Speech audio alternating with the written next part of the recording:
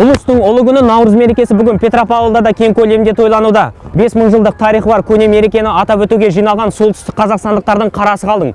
Дәстүр бойынша бұрындары наурыз мейрамын бүкіл ауыл ел болып, әсіресе жастар жағы тазаланған арықтарға су жіберуден, ағаш отырғызып бір-біріне қонаққа барудан бастайтын. Қызықшылық онан әрмен ұлттық ойындармен, ән салып би билеумен жалғасып кете беретұғын. Ежелден келе жатқан ұлық мереке биылда сән салтанатымен аталып өтуде. Бүгін өңір тұрғындарын күн мен түннің теңеліп, жер мен көктің жаңаратын жарқын мерекесімен облыс әкімі Ерік Сұлтанов құттықтады.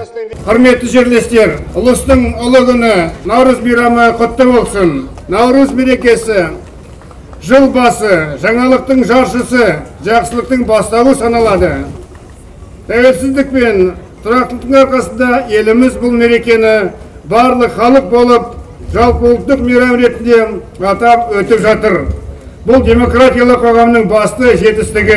Кейін әз наурыз мейрамында достық алаңына жиылған теріскейліктердің назарына жергілікті өнер майталмандары көне мейрамның шығу тарихы туралы театрландырылған қойылым ұсынды. Одан соң өңір жетекшісі ерік сұлтанов мағжан жұмабаев көшесінде қас қатар тізілген ақшаңқан киіз үйлерге қарай бет алды. Бұл жерде аймақ басшысына он үш аудан мен облыстық ішкі істер департаментінің ұжымы құрған киіз үйлер көрсетілді. Мұндағы киіз үйлер сыртқы және ішкі безендірілу жағынан бірінен бірі асады. Мәселен шал ақын ауданының шаңырағында қазақ халқының ұлттық ыдыстарын көруге болады. Екі күбі әкелдік біреуі ағаштан жасалған біреуі теріден жасалған. Өйткені бұл да бұл күбіде сол қазақ халқы. Қымыз піскен осы мынау кішіректері болған май былғайтындар болатын.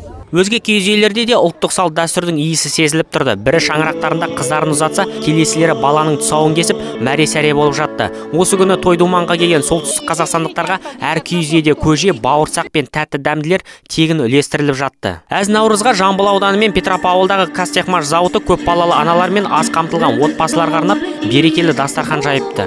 Жүз елуден астам адамға палау таратылды ә, тегін. Осы мына арнайы тізім бойынша мынау ә, мына жағдайы нашар адамдарға елу шақты адамдарға осында тамақ берілді. Қазір де көріп жатсыз мінекей халық кіріп шығып жатыр. Ал одан әріректе тәртіп сақшылары тұрғындарға аңқыған иісі алыстан мұрын жаратын дәмді палау әзірлеген. Қазанда бабымен піскен өзбектің ұлттық тағамын жерлестеріміз лезде бөлісіп алып жатты. жиырма килограмм ет кетті осыны груш кетті жиырма килограмм. Он жеті килограмм морковь кетті осыдан кейін сегіз килограмм масло осы и переправа кетті ғой. Осының плод жасадық. Ақжарлықтар болса ұлыстың ұлы күнінде сыйлық қонақтарын төрге шығарып қазақтың ұлттық тағамдары бауырсақ құрт пен қымыздан дәм ауыз тигізді. Дастархан ажарын келтірген мына бір табақ қой мен жылқы еті қазаннан жаңа ғана түсірілген. Ең жаңа қадірлі қонақтарға ұсынылатын біздің басты тағамдарымыз бірі ет.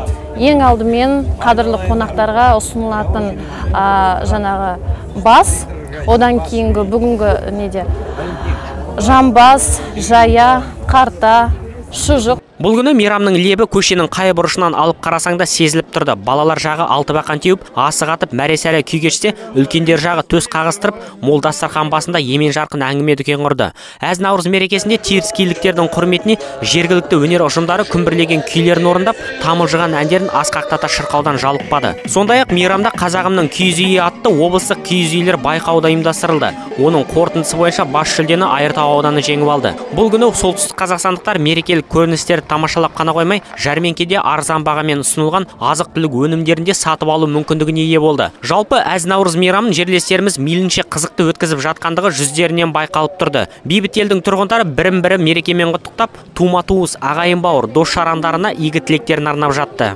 Нарық құтты болсын халыққа тыныштық болсын. Жастар аман болсын бақытты ғұмыр кешсін. Барлығына денсаулық тілеймін. Наурыз құтты болсын ақ мол болсын.